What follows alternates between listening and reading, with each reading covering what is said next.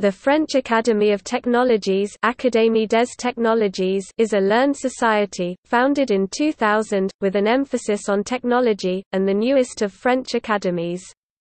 In 2007 it acquired the status of établissement public, which enforces its public role. Its stated missions are as follows Help to better exploit technologies in service of mankind Provide clarity on emerging technologies Contribute to public discussion of the risks and benefits of technologies Contribute to professional and technological education Interest the young and their parents in technologies and new careers raise public interest and comprehension in technologies In 2006 the Academy had approximately 200 active members plus emeritus and foreign members.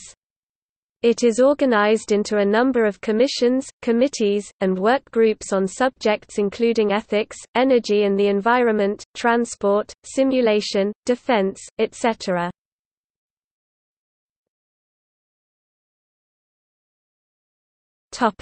See also French Academy of Sciences